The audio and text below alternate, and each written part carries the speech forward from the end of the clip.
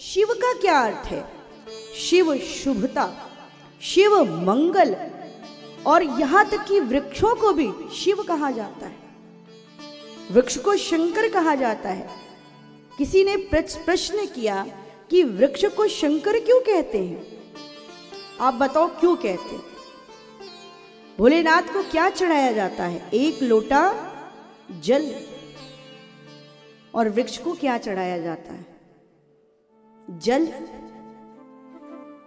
भोलेनाथ ने क्या पी लिया? विष। रामकंठ में तो विश्राम, लेकिन पिया विष। ऐसे ही ये वृक्ष प्रदूषण को पीते हैं। नाना प्रकार की गंदगी इनके ऊपर आरूढ़ हो जाती है। लेकिन ये कभी शिकवा शिकायत नहीं करते।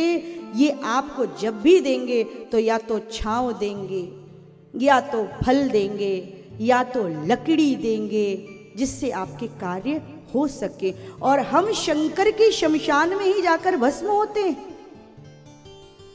शंकर भगवान उसी भस्म को लगाते हैं। आपकी राख को शंकर भगवान स्वयं लगाते हैं। और उसमें भी वृक्ष है बोलो जय राधे।